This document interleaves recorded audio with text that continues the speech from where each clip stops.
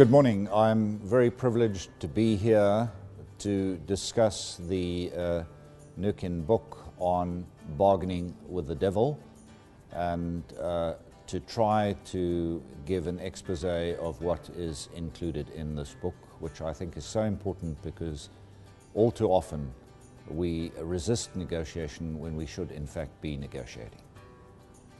Ladies and gentlemen, the book is written by Mnookin, uh, who is head of the program on negotiation at Harvard University. And what he basically does in the book is he shows a different way, a different way, the, the way of conflict dispute resolution. The book starts out where Harvard University, shortly after 9 11, has a debate. And they invite two eminent persons to put two views at that debate. Roger Fisher, the guru of negotiation at Harvard, putting the point that there is room for negotiation after 9 11. Very difficult. Mnookin, who comes and says, Sorry, we cannot bargain with the devil. The book, in essence, represents Mnookin's journey in his quest to answer this vexing question of do we bargain with the devil? Now, I think he's being a little bit deliberate by using two terms here which are contentious. One is the question of bargaining, and the other is the devil. And I'm afraid that when you bargain, you're going to end up with something which you probably don't really want at the end of the day. The protagonists of negotiation will tell you that we should always negotiate. We should always seek a solution, Mnookin says, by virtue of problem solving, to explore the interests of the parties and which options can best meet those interests of the different parties. But when we break open the positions and find the interests, then we can really start to find solutions. You have nothing to lose. You pay the price in negotiation beforehand. In war, you pay the price afterwards. Negotiation does not imply giving up anything. The concessions, your willingness to sit down at the table, to explore a possible deal, to seek best alternatives, that's not, that's not a concession which is robbing you of anything. It is simply saying, I'm willing to sit with you and look at how we can find a better way of doing other than going to war and destroying each other. But if you look at the antagonists, they will tell you the devil is going to take your soul. But I think that that is a defeatist approach. We're not selling our soul when we enter into negotiation with people. We still maintain our principles and our morals. The devil is clever and unscrupulous. Yes, we are aware. We need to transcend black white thinking register a plea to think beyond categories with yourself. We don't want to see either devils or honest, good people. There are many different people in between. And you and I are moving between these positions on a regular basis. Proponents and opponents are both correct, depending on the examples they choose. Unfortunately, in life, we try to justify things by virtue of hindsight. It's easy.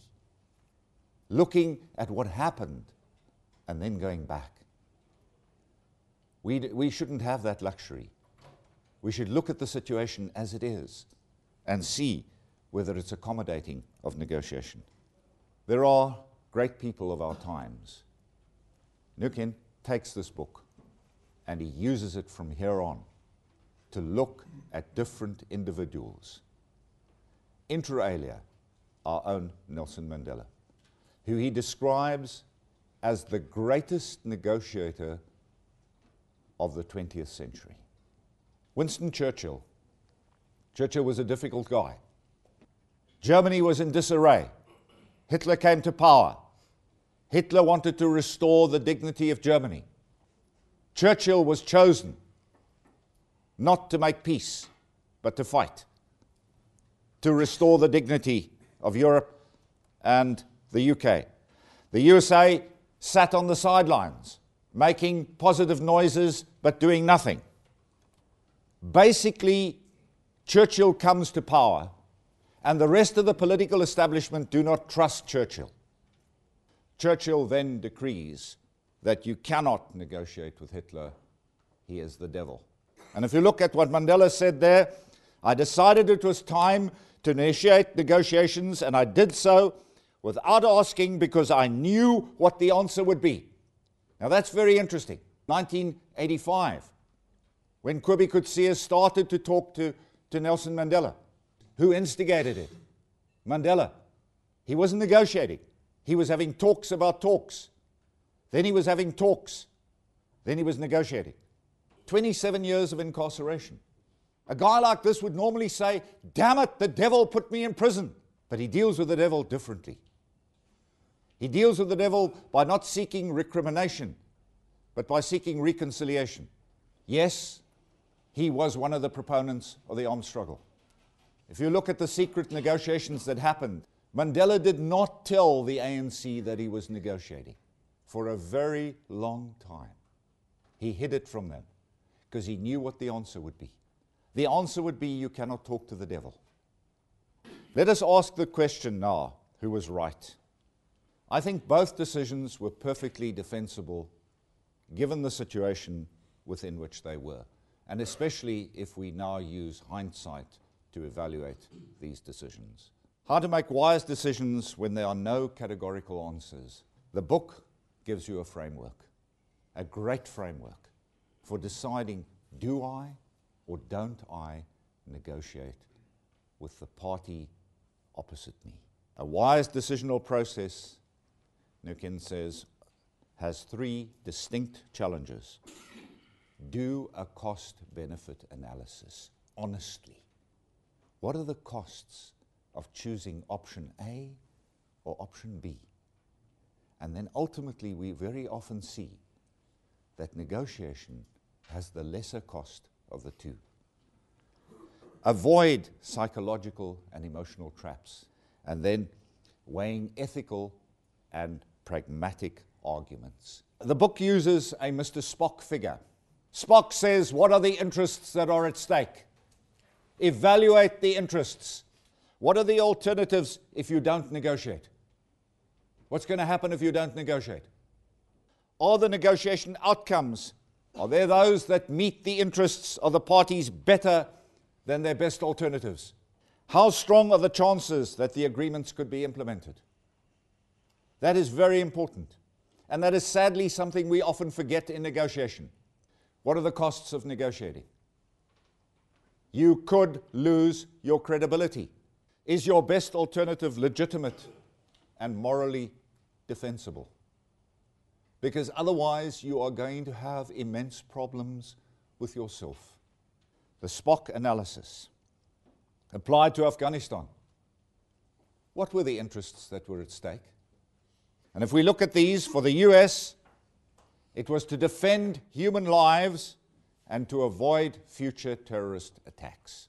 For the Taliban, it was staying in power and it was maintaining Islamic law.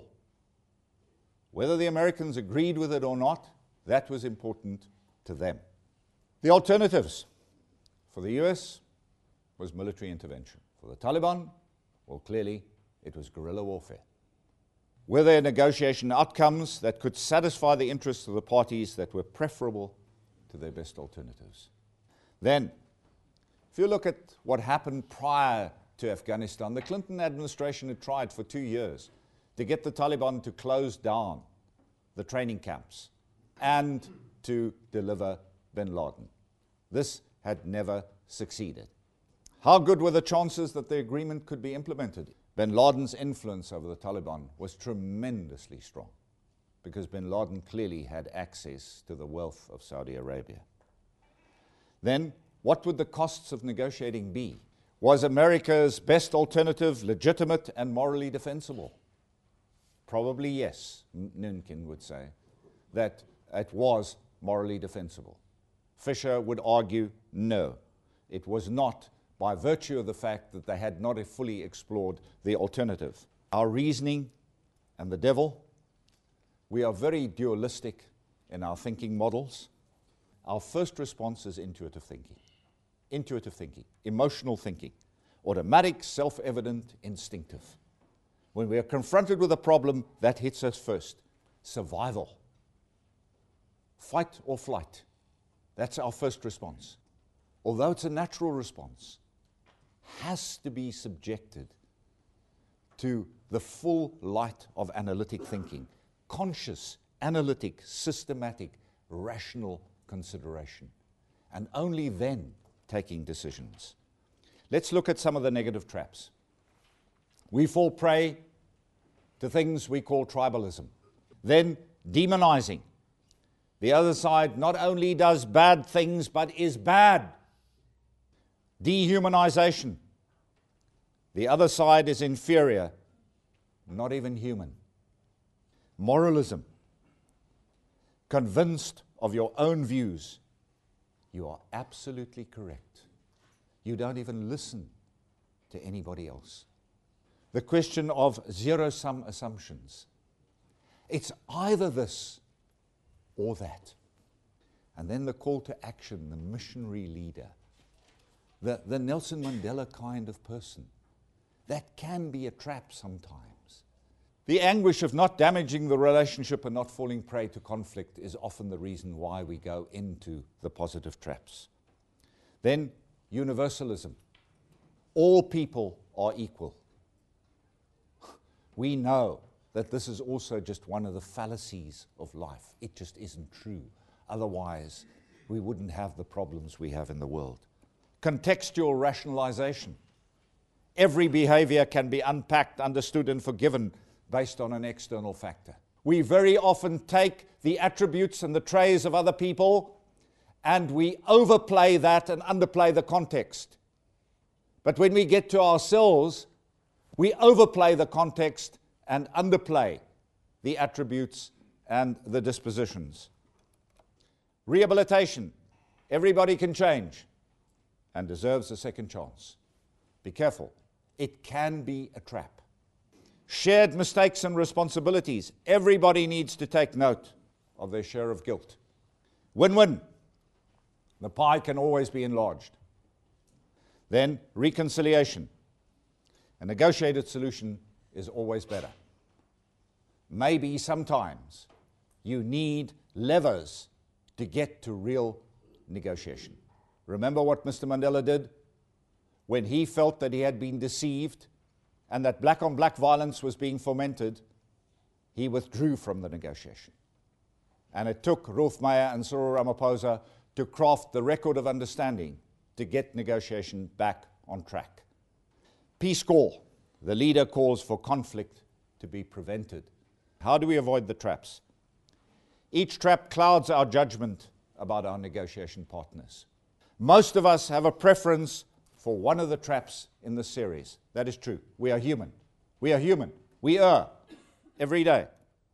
Our preference is a function of our personal style.